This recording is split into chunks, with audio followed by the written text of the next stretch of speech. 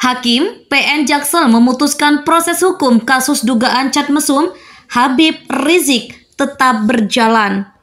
menjatuhkan putusan pra peradilan untuk perkara cat mesum eh, yang eh, saudara HRS kita di sini sebagai kuasa hukum pemohon ya sekarang sesuai dengan putusan pra peradilannya kita minta eh, khususnya sebagai ter- eh, termohon me- melaksanakan semua yang menjadi putusan pengadilan.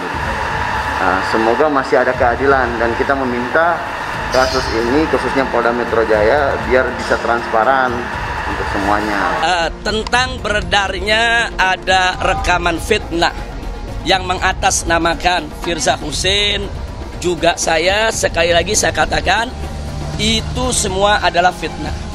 Dan kita tahu alhamdulillah kemarin bahwa eh, Firza Hussein juga sudah menyampaikan eh, bantahan sudah menyampaikan bantahan melalui juru bicaranya yaitu kalau nggak salah bernama Yakob eh, Arupalaka eh, yang mana Firza Hussein menolak bahwa rekaman suara ataupun foto ataupun chat yang ada sama sekali eh, beliau tidak bertanggung jawab dan tidak tahu menahu bahkan eh, beliau marah dan akan melakukan penuntutan eh, terhadap yang melakukan rekayasa tersebut. juga ini tidak lebih dari uh, upaya pengalihan isu atau bahasa intelijennya deception terkait dengan uh, apa pengusutan masif kabar-kabar terkait dengan uh, apa desakan-desakan untuk mengusut tuntas kasus uh, dugaan pembantaian terhadap enam syuhada Laskar FPI yang terjadi beberapa hari yang lalu.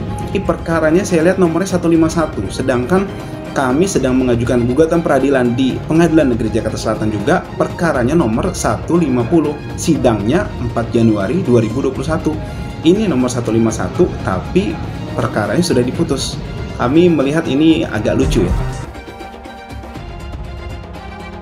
Pengadilan Negeri Jakarta Selatan mengabulkan gugatan pra peradilan atas surat perintah penghentian penyidikan atau SP3 kasus dugaan cat mesum Habib Rizik Sihab dengan Firza Hussein.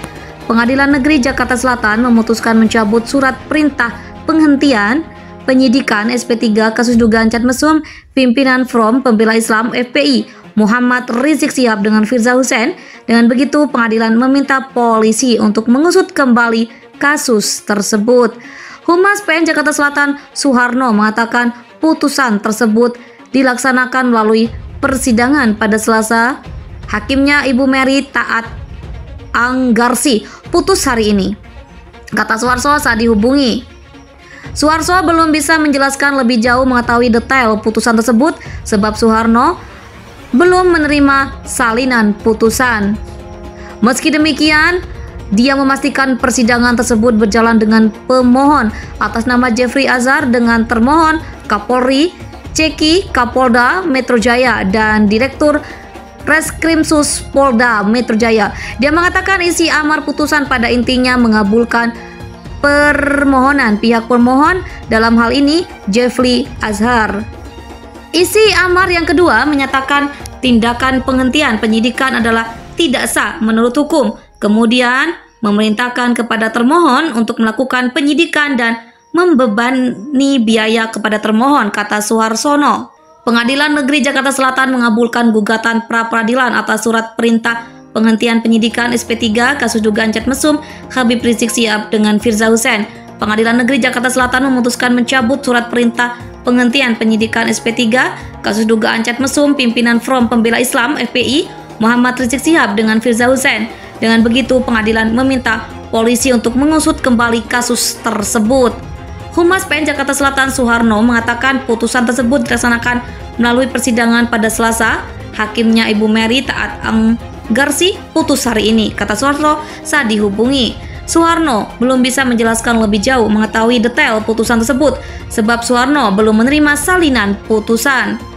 Meski demikian, dia memastikan persidangan tersebut berjalan dengan pemohon atas nama Jeffrey Azhar dengan termohon Kapolri Ceki Kapolda Metro Jaya dan Direktur Reskrimsus Polda Metro Jaya.